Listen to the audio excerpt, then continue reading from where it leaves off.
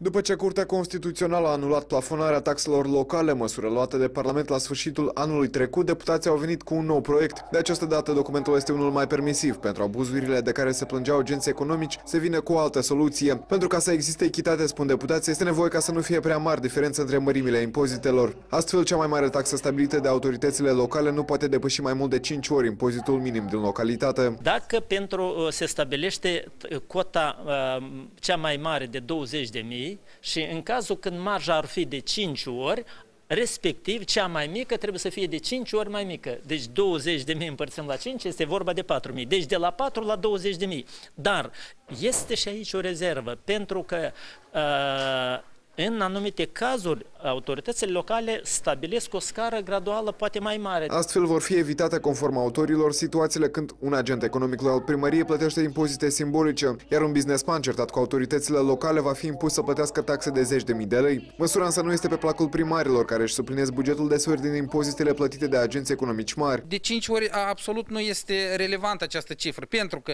ca să luăm de exemplu, sunt, spunem așa, niște chioșcuri, spunem așa, de 10 metri pătrați și sunt centre comerciale sau mall uh, de sute de mii de metri pătrați. Închipuiți-vă uh, dumneavoastră o diferență că pentru un, chio, un chioșc în cazul dat o să trebuiască să plătească 500 de lei, iar uh, taxă anuală, taxă locală, iar un mall o să, o să trebuiască maximal să plătească 2500 de, de lei. Închipuiți-vă, este absolut injust. Cel mai probabil însă pentru asemenea situații în lege vor exista derogări. Plafonul instituit de Parlament anul trecut a fost pe deplin susținut de agenții economici, deși cu mai puțin entuziasm și noile măsuri sunt văzute cu ochi buni de businessmani. Important este că atunci când primăriile stabilesc taxele să le consulte cu mediul de afaceri. Ar fi cazul să fie, vă zic, o lege generală care ar plafona într-un fel sau altul, cu condiția că se lasă undeva ușa deschisă pentru uh, agenții economici care iese din